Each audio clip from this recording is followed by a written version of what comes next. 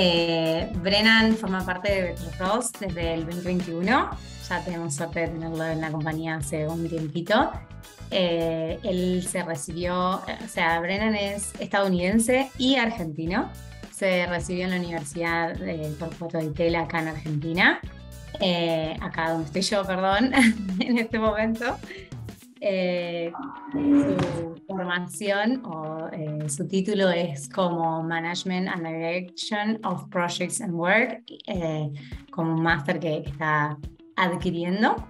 Y bueno, actualmente está trabajando con la empresa IDSA, donde nos va a contar un poco más detalle, pero a la vez también es asistente a, a profesores en la universidad en formaciones de arquitectura y eso nos llevó a nosotros y nos motivó para, para presentarlo como candidato a Like Estroy. Y bueno, con esta introducción lo presentamos y ya le damos el micrófono. Bueno, bárbaro. Voy compartiendo pantalla, así arrancamos.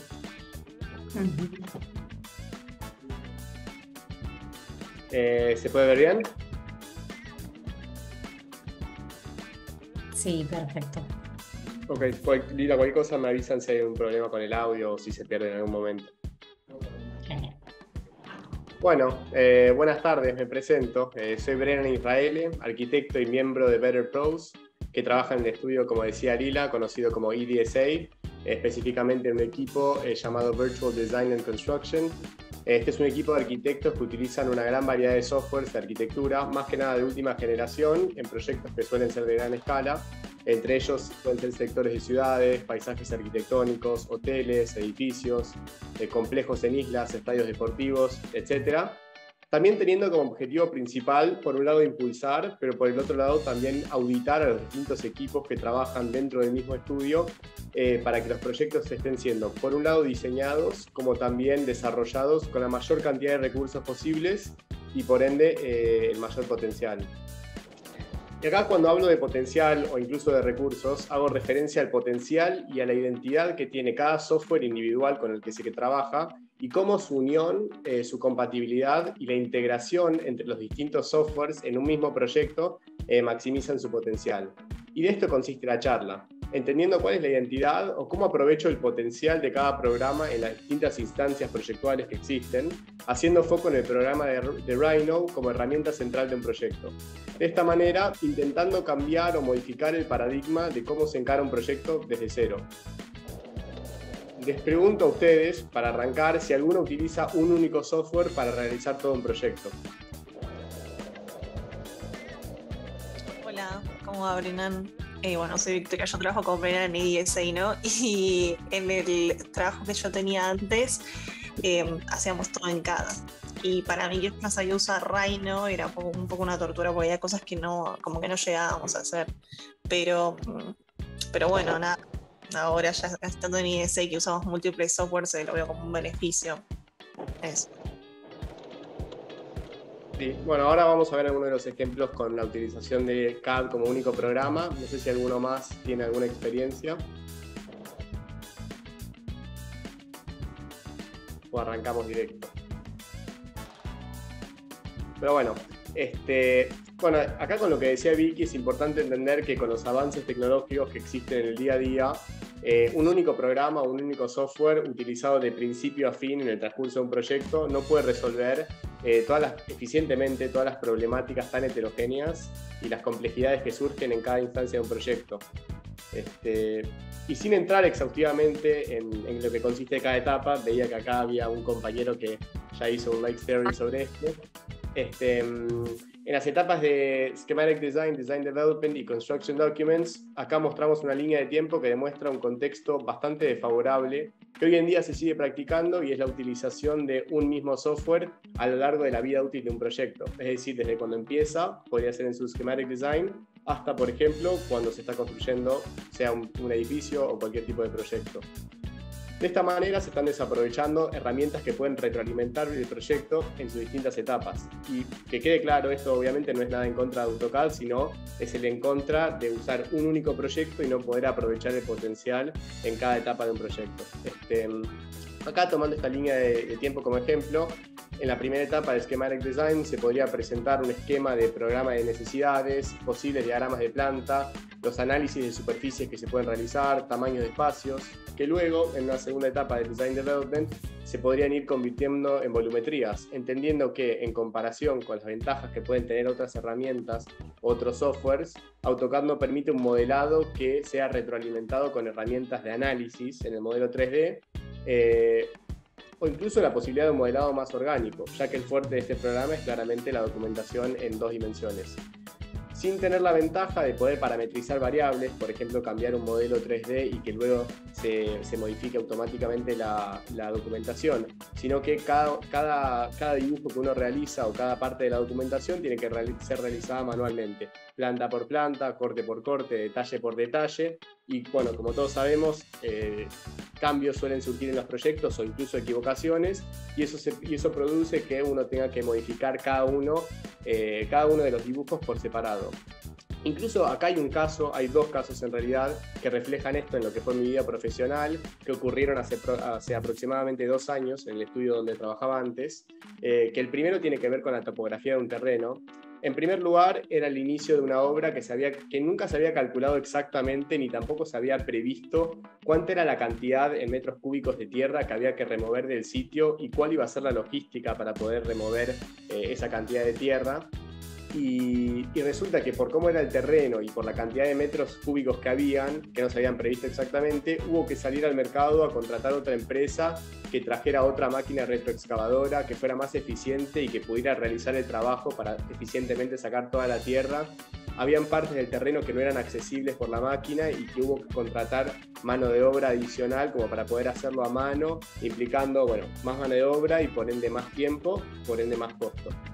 Ese era el primero de los problemas. Y el segundo, que diría que es el más grave, que tiene que ver un poco con lo que estamos hablando ahora, eh, fue después de que se demolió lo que era el edificio existente, que había un edificio de tres pisos, eh, el agrimensor nos pasó la medida de lo que era entre medianeras, es decir, el espacio que había en el terreno actual después de haber sido demolido el edificio previo, y resulta que tenía 30 centímetros menos de lo que nosotros teníamos como plano municipal.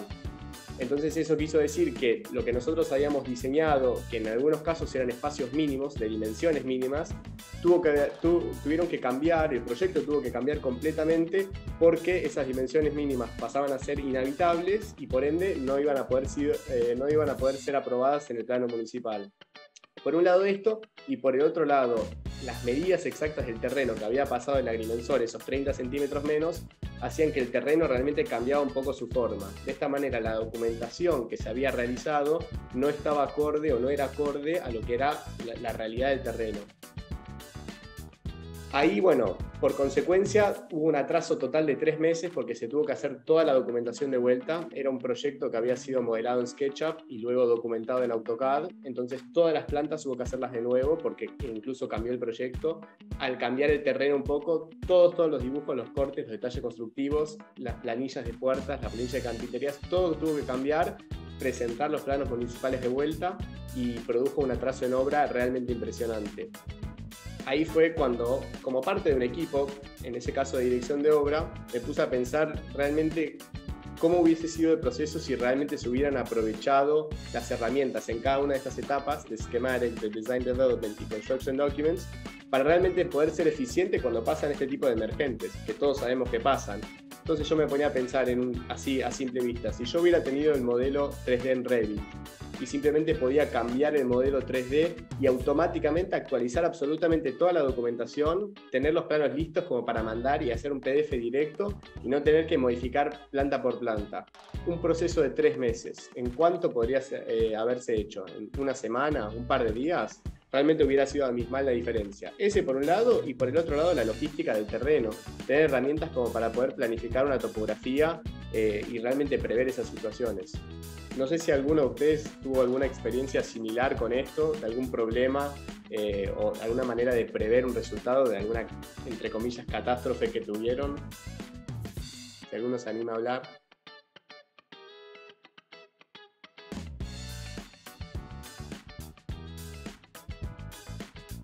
Hoy están más tímidos. Están tímidos. Pero bueno, bueno, sigo entonces.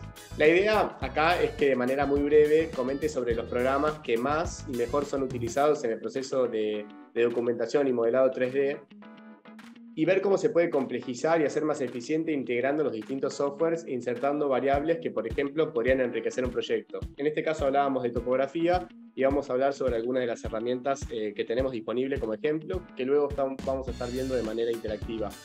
En este caso, poder extraer cotas de nivel, eh, utilizar algún software como CAD, Civil 3D o Cookies, para no solo extraer cotas de nivel, sino información dentro de las cotas de nivel si estamos trabajando en un proyecto grande y, por ejemplo, podemos extraer si tiene cuerpos de abra, de agua, si tiene tipos de vegetación distintos, poder realizar un modelo 3D completamente preciso con relieves y alturas, automático, y por el, lado, por el otro lado, los traspasos entre los distintos softwares. No sé si, por ejemplo, alguno de ustedes utilizó cookies y, por ejemplo, tiene la opción de eh, importar una imagen eh, que se llama georreferenciada, que tiene información dentro de la imagen, y por ende la propia imagen te da las alturas que tiene cada sector del terreno que uno quiere.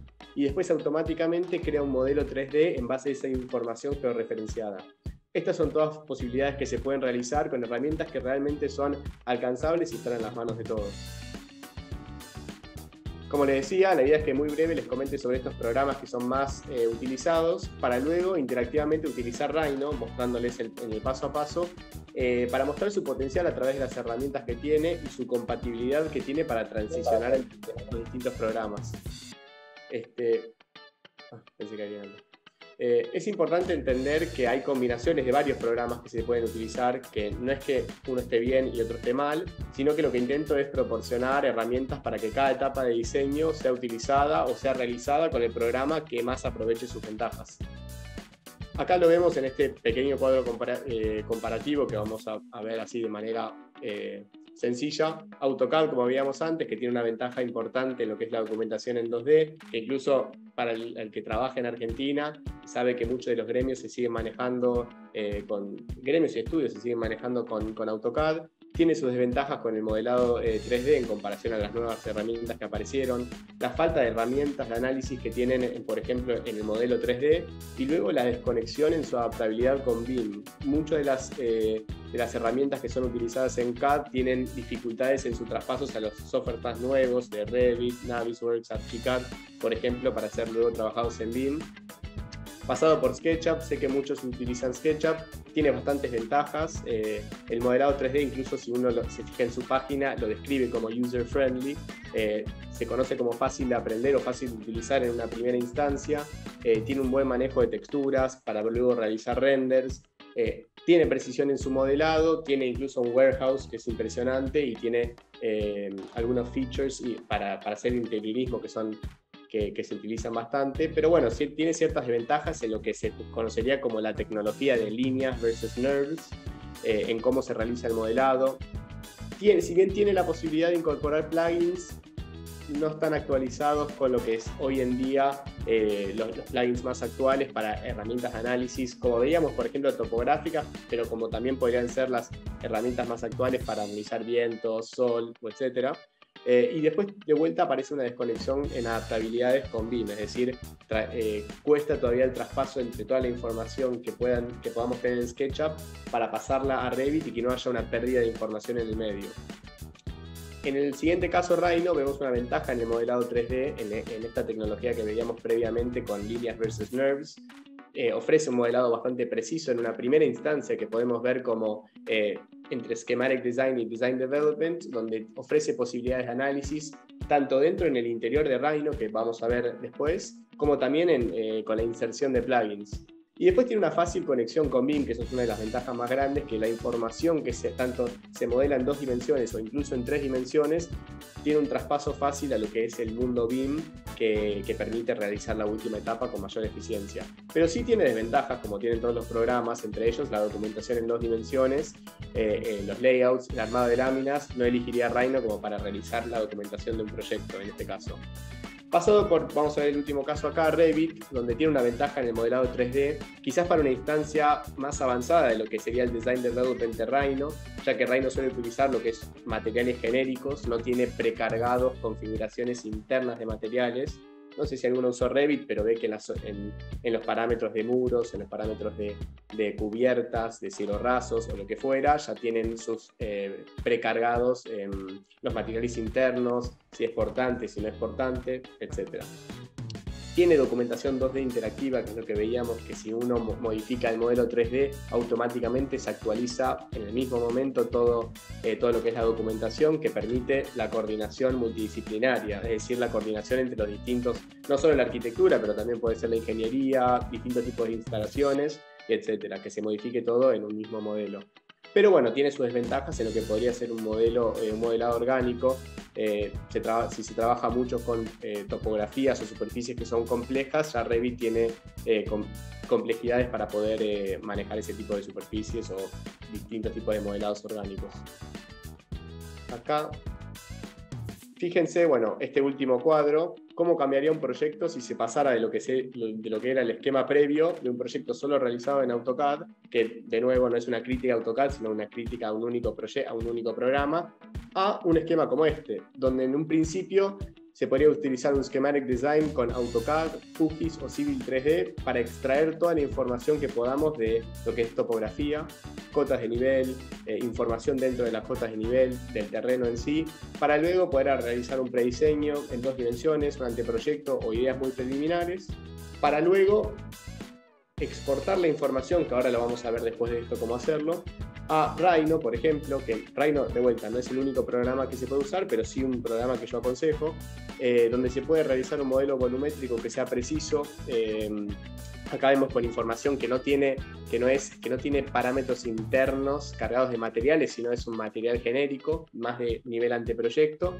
que luego puede pasar por una etapa de análisis que retroalimenta ese, modelo y puede cambiar con esa información obtenida con la etapa de análisis para luego, en la última etapa, así sintetizando las etapas de Construction Documents, se puede pasar ese modelo de Rhino a, la etapa Revit para luego incluir esa materialidad, esa los, los parámetros internos de materiales, e incluso incluso si yo quisiera volver atrás y cambiar de modelo, pudiera hacerlo y cambiando automáticamente la documentación. Acá vemos un proceso o una posibilidad de un proceso que es realizable, que hoy en día en, el estudio, bueno, justamente Victoria lo, mencionaba, eh, procesos que se realizan y naturalmente se aprovechan bastante las oportunidades en cada una de las etapas. Acá, bueno, lo quería... te interrumpo, Brennan, un segundito. Eh, ¿alguien, ¿Alguien de todos los que están acá presentes hace esta vinculación? ¿Ha pasado de AutoCAD a Rhino y de Rhino a, a Revit o algún otro mix de software? Sí, yo sí he trabajado eh, un tiempo con Rhino. Eh, sí, bastante de hecho. ¿Y qué, cuáles son esas, eh, esas conexiones que haces entre programas? ¿Por qué las haces? Para, para, llegar a qué? Bueno, hay como mucha facilidad para modelar en Rhino. Eso es algo que no he encontrado en otro software, la verdad, pues para arquitectura. Entonces, eh, muchas veces lo que hago es modelar cosas como orgánicas o que de pronto tienen alguna dificultad. A veces he utilizado Grasshopper y luego importo lo que requiero. Puede ser una cubierta, puede ser, no sé, una ventana, lo que sea. Lo importo ah, como un modelo externo a, a Revit. Es como lo que he hecho. Bueno, eso es uno de los buenos ejemplos que veíamos recién en la línea de tiempo.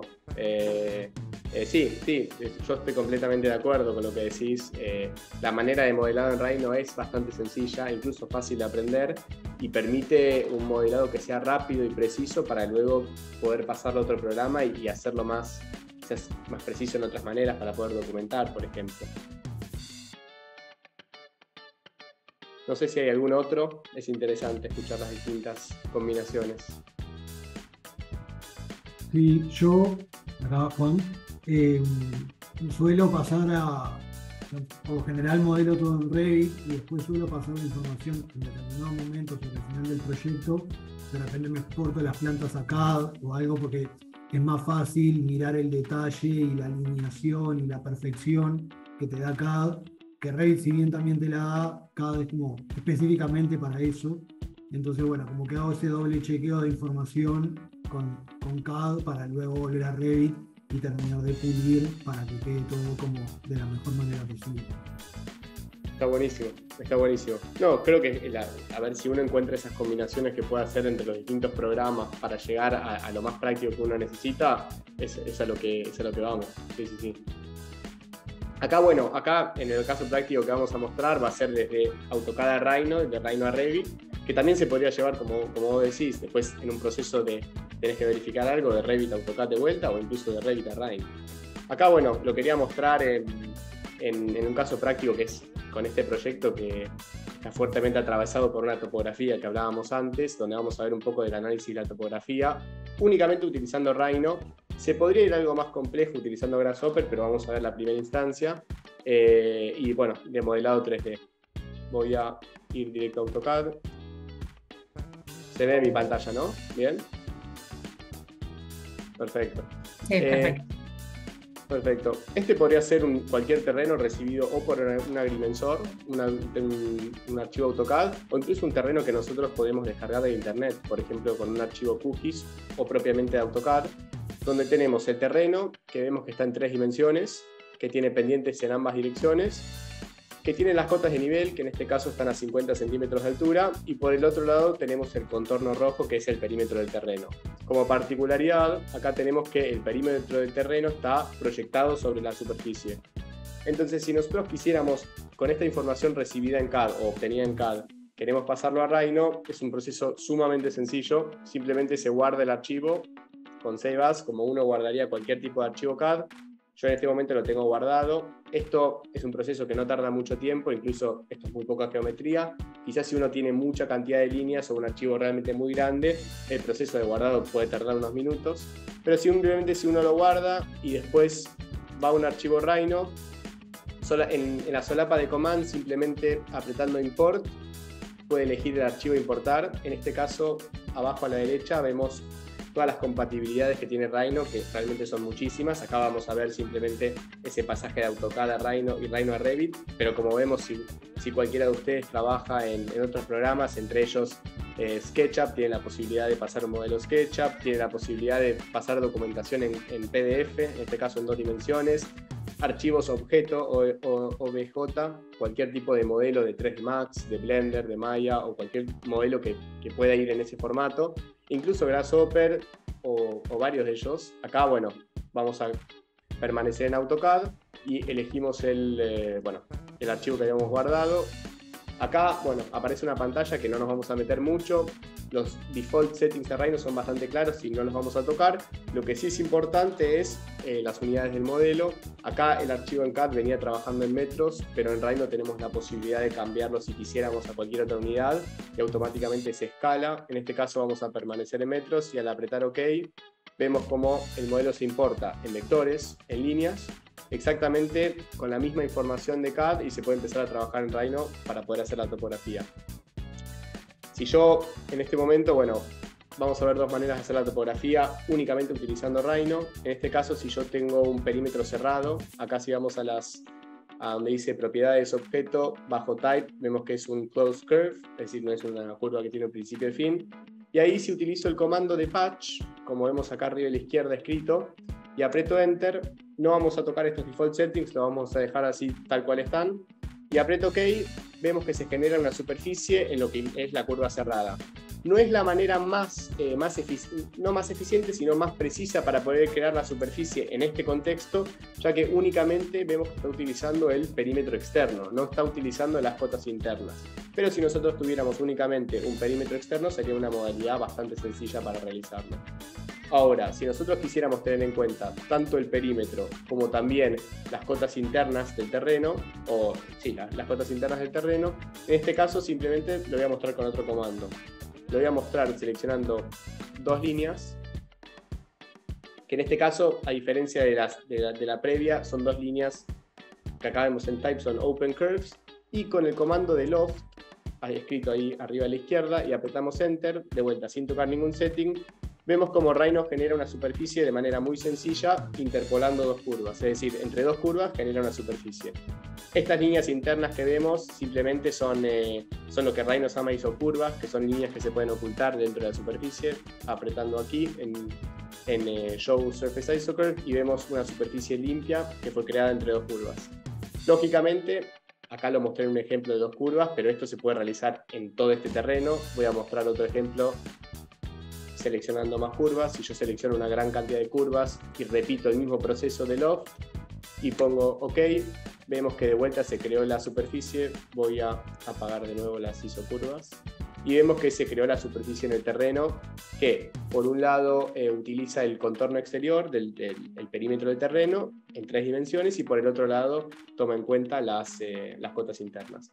Eso sería una manera de hacerlo. Y si yo, en este caso, eh, tomando lo que dijo Juan, quisiera en este caso volver desde atrás, desde Rhino AutoCAD y por ejemplo tuviera la primera superficie que habíamos creado, voy a crearla de vuelta con Patch, es únicamente teniendo eh, en cuenta el, contorno exterior. Si yo tuviera esta, esta, esta superficie y quisiera obtener las cotas de nivel y pasarlas a CAD por algún motivo, como el que dijo Juan, pasar de Revit a CAD, Vamos a agarrar, abajo a la izquierda tenemos las distintas, eh, los distintos ángulos que se pueden, o distintas modalidades que se pueden ver eh, el modelo en Rhino. En este caso estamos en perspectiva, pero lo podemos pasar a top para ver el modelo en planta, lo podemos pasar a front para ver en vistas, o incluso right, que es otra de las vistas. Y para aplicar o para generar las curvas de nivel, vamos a utilizar el comando de contour, visto arriba a la izquierda, donde me va a dar la opción de generar las cotas de nivel en la superficie que yo tenga seleccionada. Acá sí selecciono lo que va a ser nuestro cero, nuestro punto más bajo, y vamos a generar las cotas de nivel para arriba. Rhino acá nos va a preguntar cada cuánto queremos generar esas cotas de nivel. En el CAD estaban generadas automáticamente cada 50 centímetros, así que vamos a hacer lo mismo. 0.5, ponemos Enter y vemos que Rhino automáticamente te creó las cotas de nivel de la superficie que obtuvimos. En un, en un, o sea, en un rango de tiempo realmente muy corto. Si yo quisiera ahora pasar esta información que yo tengo en Rhino, que pueden, no, necesariamente tiene que ser eso, puede también ser un modelo, eh, más curvas, distintos tipos de curvas, algún tipo de superficie. Si yo quisiera pasar esta información, simplemente la selecciono, que es la que recién generamos, voy a File, Export Selected, y nuevamente acá donde dice Save as Type tenemos todas las extensiones o todas las compatibilidades que tiene Rhino como para poder pasar de, de, un programa a otro, las que habíamos visto antes. Lo vamos a guardar en DWG y vamos a nombrarlo 02 simplemente. En este caso de vuelta ah, eh, hay distintas maneras de guardar este archivo si queremos guardarlo como sólidos. En este caso son líneas, lo vamos a dejar en default y apretamos OK. Van a ver que es, un, es, un, es, muy, es muy sencillo si simplemente voy a, a AutoCAD abro el archivo como abriría cualquier tipo de archivo, que es este que habíamos guardado, pongo Open y acá vemos que puedo abrir la información que recién generé en Rhino con la superficie, todas las cuotas de nivel de exactamente la misma superficie generadas en Rhino y se pueden usar en Rhino. Si uno tuviera que hacer algún tipo de verificación, se puede hacer perfectamente.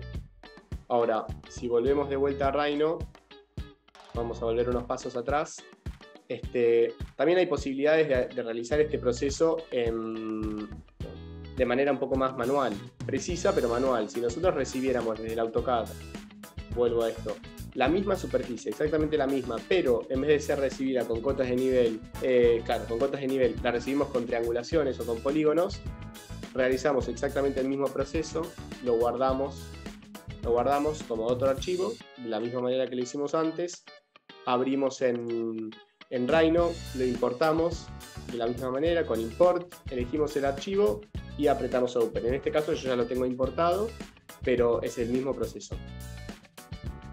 Acá, como vemos, la diferencia de antes es que lo recibimos con, eh, eh, con triangulaciones, es decir, con vectores triangulados. Y en este caso, acá en el sidebar de la izquierda tenemos en el sector superior las, tools de curvas, que son polilíneas, líneas y curvas, o y en, el sector un poco más, en el sector inferior tenemos lo que son superficies y volúmenes. En este caso vamos a usar una que se utiliza bastante, que es este, este símbolo acá, que es Surface Point, como vemos acá, y esto te da la posibilidad de ir apretando en los vértices de cualquier tipo de objeto, no solo curvas, pero cualquier tipo de objeto, y apretando Enter se te generan las distintas superficies en tres dimensiones, obviamente, porque uno está apretando en las distintas superficies. De esta manera, si yo quiero ir apretando manualmente en cada uno de los vértices, lo puedo ir haciendo. Lo que hay que tener en cuenta acá es que como estoy creando cada superficie por eh, singularmente, cada, cada una de ellas va a estar computada de manera singular. Pero si yo apretando Shift selecciono cada una de estas superficies y pongo Join, Join como en cada uno de los comandos que vimos en, en muchos de los programas, ya se computa como una, una única superficie. Esta es, de vuelta es otra manera de hacerlo, voy a apagar las isocurvas, que son las distintas modalidades, con, depende de la, la información que uno recibe. Este, bueno, vamos a pasar al, siguiente paso, que sería, eh, que sería, voy acelerando un poquito, poder ver cómo, cómo, cómo saber si yo quisiera empezar a construir esto teniendo un terreno plano, en este caso recordemos que eh, el perímetro del terreno está proyectado sobre la superficie, si yo lo tuviera plano, ¿cuánta tierra tendría que sacar de esta topografía para poder empezar a hacer el proyecto? ¿Cuánto sería la excavación de esta manera? Para eso vamos a usar, es un proceso de un minuto, vamos a usar Project to Seaplane, de vuelta es un, un comando que aparece en varios de los programas, me da la opción de borrar la línea que voy a proyectar o no, voy a apretar no, y van a ver que acá se proyectó en lo que Rhino tiene como el plano cero, acá vemos, con el plano cero de Rhino, y voy a elegir de mover, mover esta línea que es proyectada, que ahora sí está en un plano cero, a uno de los vértices. Entonces acá estamos viendo, por un lado, lo que sería el cero de nuestro posible terreno, que es la, curva que tengo seleccionada en este momento, y por el otro lado el mismo, eh, la, misma, el mismo contorno, pero proyectado en el borde superior de, la superficie. Si yo quisiera generar lo que sería la conexión entre estas dos, vamos a usar la misma, eh, uno de los mismos comandos que utilizamos antes, que es el loft. Entonces de esta manera selecciono ambos. Loft, ok, y acá vemos que lo que me generó sería como la posible submunación, sería la conexión de el cero de nuestro proyecto con, eh, con la topografía. En este caso, bueno, tenemos ya las paredes verticales. Si yo aprieto en lo que es el, el piso de nuestro proyecto, o sea, o el, nivel cero, vamos a usar un mismo comando que utilizamos antes, que patch, que eso lo que generaba es mediante un perímetro cerrado, te genera una superficie, pongo OK, y vemos que me generó la superficie. Voy a apagar las isocurvas. Si tienen alguna preguntita o si no se entendió algo, por favor me dicen. Este, y vemos que tenemos el piso de nuestro proyecto y tenemos las paredes. Lo que quedaría es simplemente tener una superficie que cierre este volumen, de esta manera que sea eh, en la parte superior de, de, lo que sería el terreno. De esta manera, de vuelta, utilizando dos o tres comandos, que el mismo, que es, este es un comando, eh, el mismo patch, que es a través de una curva cerrada. Seleccionando la curva, pongo OK y se me creó la parte superior que cierra el terreno. Entonces tenemos las paredes, el sector inferior, que es el piso, como vemos acá, en nivel 0, y por el otro lado, el, eh, bueno, el, la parte de la topografía. Si yo pongo join acá, me lo computa como 1 y simplemente con un botón que es el comando de volume, y pongo yes, puedo obtener lo que acá arriba a la izquierda dice que tiene 6.726 metros cúbicos. Entonces, en un proceso de dos minutos, en un terreno que es bastante complejo, eh, para poder empezar a, a, un proceso de obra, un proceso de excavación, yo, yo ya sé que en un proceso así tengo 6.726 eh, metros cúbicos de tierra. Esto, llevándola atrás, sí. Discúlpame, eh, Manu ya hizo una pregunta eh, con el tema, justo el temita anterior, en donde vos utilizaste patch eh, para hacer el, el, cálculo y él pregunta por qué no utilizaste planar eh, surface o si hubo alguna razón por cual un comando es mejor que el otro. No, a ver, Planner Surface también es una opción en ese caso. Eh, patch generalmente sirve también para lo que para lo que es tres dimensiones. En este caso vemos que esta curva acá es una curva que está cerrada, pero que no está en un mismo plano, en un mismo plano mirándolo como si fuera en vista, sino que está en tres dimensiones. Pero Planar Surface quizás sirve más para lo que es un mismo plano, como por ejemplo podría ser este piso de acá, que lo habíamos proyectado en plano cero y ahí se puede utilizar con, con más eficiencia. Disculpame, no veo las preguntas si hay una en el chat. No, no te preocupes, yo te, yo te aviso cualquier cosa. No sé, eh, Manu, si quedó clara la respuesta, cualquier cosa si no voy a escribir. Sí, me dice. Este, bueno, a ver, sin sacar mucho más tiempo, vamos a.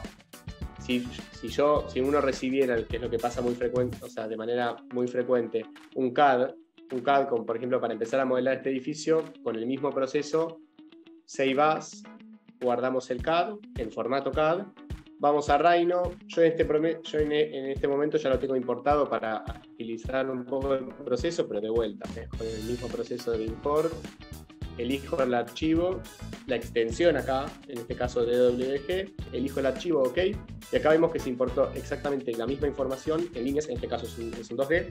Y acá es una de las, eh, no me acuerdo cómo, eh, si era Carlos que había preguntado, o en realidad em, había comentado su situación de la facilidad de modelar en Rhino.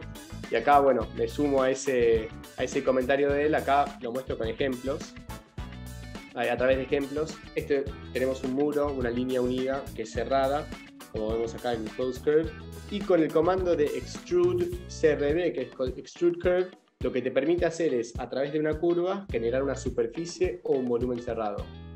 Seleccionando la curva y apretando, me permite, obviamente, como ven acá, generar algún tipo de muro.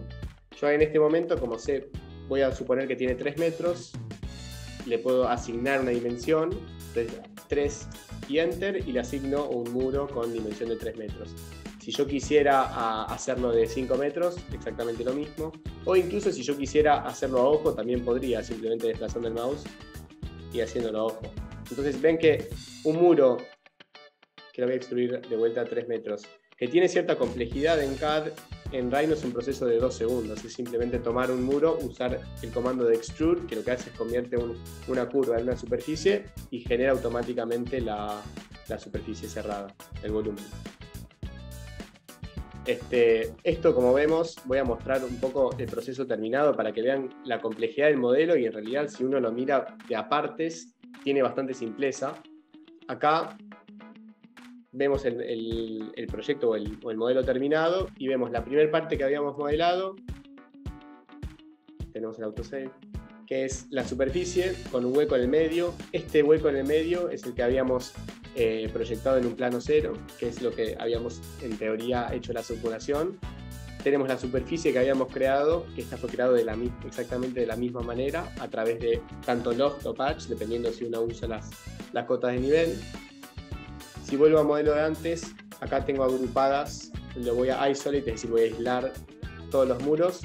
Tengo todos los muros del proyecto, estos son exactamente creados con Extrude, de la misma manera que creamos esto de acá, que es a través de un CAD, que si yo no tuviera un CAD se podría crear también eh, como, como lo hicimos antes con superficies. Si yo voy a la superficie de acá, al, al icono que habíamos usado antes, y creo una superficie apretando en cuatro vértices, creo la superficie después, en vez, como esto es una superficie y no es una curva, si hago extrude surface, puedo extruir esto a cualquier tipo de eh, altura que yo quisiera. Si, esto, si es una carpintería y creo que está a 3 metros, lo extruyo y tengo una carpintería a 3 metros.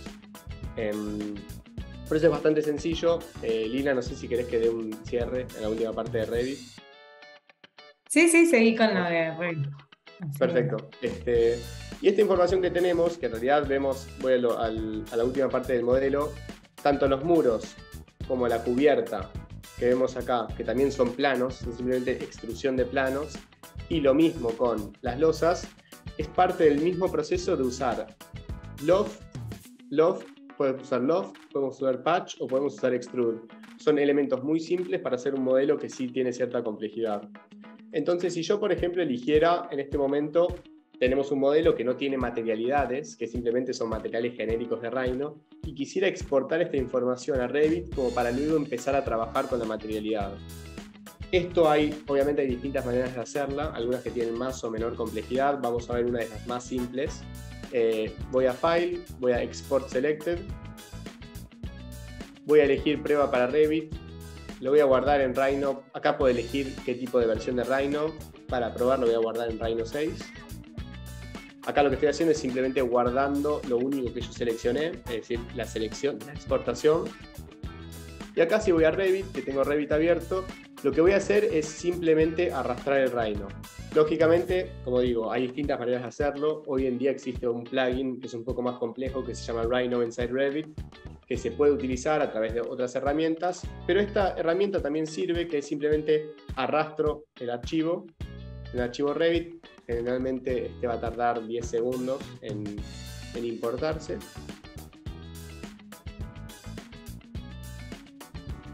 Y vemos que se importó de perfecta manera. Acá lo estamos viendo en planta, pero si yo iría al modelo 3D, vemos como acá aparece el modelo 3D y a partir de esto empieza, bueno, el mundo Revit. Si yo quiero eh, establecer los niveles, si yo quiero cambiar la, materialidad de estos muros, si yo quiero cambiarlo, pero bueno, uno tiene las distintas opciones y de cómo verlo, pero ves que el traspaso de la información de Rhino, ya que el modelado en sí es muy sencillo, son volúmenes, y no tienen, no tienen tanta complejidad de por sí, se puede pasar perfectamente Revit y ya empezar el otro mundo de la documentación en Revit.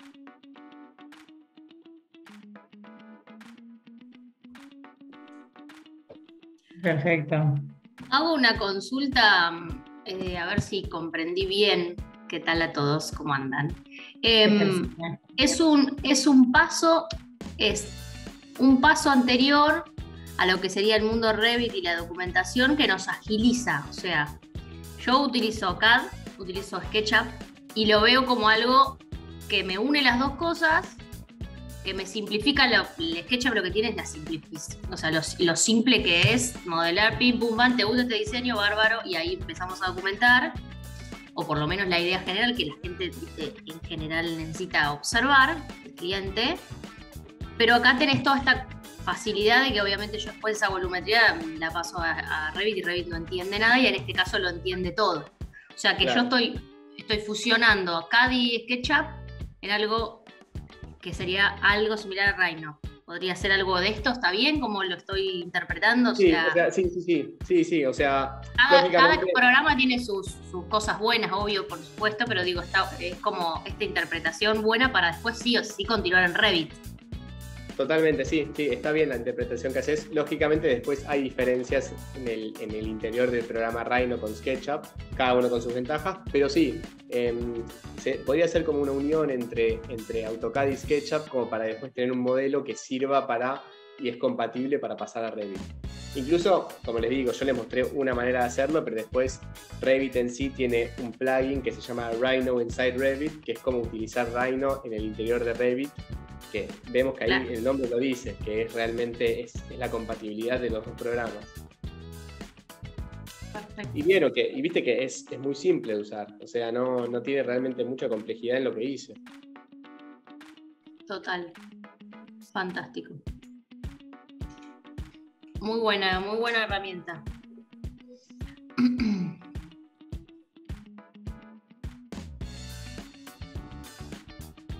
Bueno, no sé si alguien más de los fanáticos de AutoCAD, no sé, yo cuando Brena me mostró esta herramienta por primera vez y me mostró lo simple que, era modelar, eh, me pareció que quizás para la gente que está más habituada a hacer estas modificaciones en AutoCAD podría ser una gran herramienta. Eh, no sé si tenemos alguno acá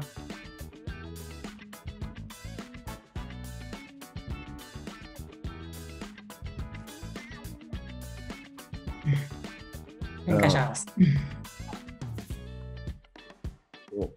A forma de trabalho no Rhino é bem similar à do 3D Max, pelo que eu vi aí, certo? Good. I cannot reply in Portuguese. I'm sorry. uh, the form, the form that, that we work in the, the Rhino is very similar to the 3S Max, right? Sí, o sea, sí. Eh, no tengo un conocimiento tan profundo en 3D Max, sí lo he utilizado para modelar y renderizar. Creo que, por lo que veo yo, eh, quizás, me, quizás obviamente no, no, soy la persona que más conoce 3D Max, pero sí tiene 3D Max un, un nivel de visualización y renderización que es muy superior al de Rhino. Rhino para renderizar en sí no es, no es muy potente, pero 3D Max tiene un mundo que es posterior a lo que es bueno, la visualización, que es muy importante. Eh, quisiera añadir algo al respecto de la, de la pregunta. Eh, pues una diferencia entre 3D Max y Rhino.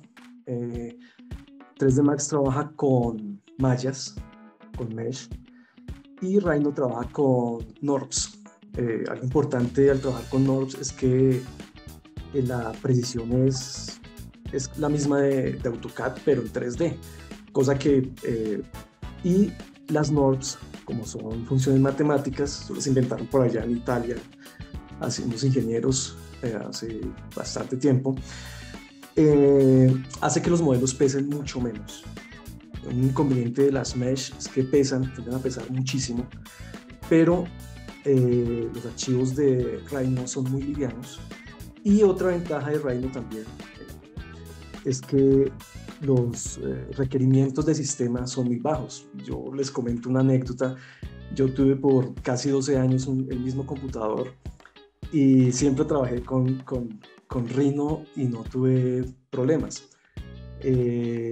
ya ahorita la última versión sí es un poquito más exigente, la versión 7, pero hasta la versión 6 la verdad con muy pocos requerimientos de, un computador podías trabajar sin problema y con modelos realmente del tamaño de, kilómetros, o sea, una vaina, por eso se utiliza también Rhino mucho para eh, urban design. Sí, totalmente, sí, sí, incluso en, en IDSA, que es el, espacio donde estamos, donde trabajo ahora, es casi todo paisajismo y, la escala de los proyectos, que son enormes, manejado en Rhino, te permite realizarlo sin tener ni la mejor computadora del mundo y también realizarlo con archivos que, se puede, que sean manejables.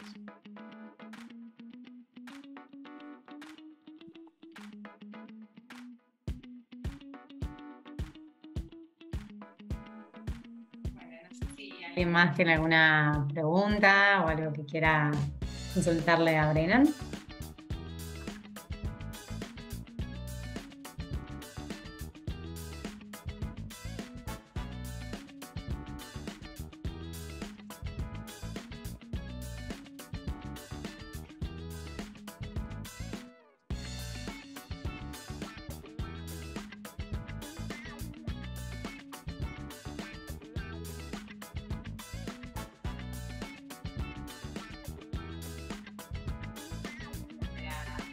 Entonces, eh, para compartirles un link eh, donde quisiera que nos hagan devolución del, encuentro, de qué les pareció, que, con qué temas les gustaría que, sigamos eh, abordando estos espacios, que como ya todos saben es un espacio diseñado para ustedes y bueno, queremos que sea de mayor utilidad. Así que por favor, a todos los participantes interesados que, completen este, este pequeño survey, nos va a servir muchísimo para ir mejorando.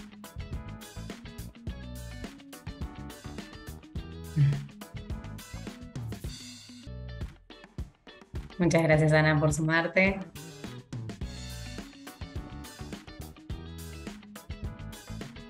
Están todos ahí, no sé si ves, Brennan, pero están todos. Sí, justo ahí, justo ahí, ahí el chat. No, bueno, sí, muchas gracias a todos por, por, por escuchar y por interesarse en la charla.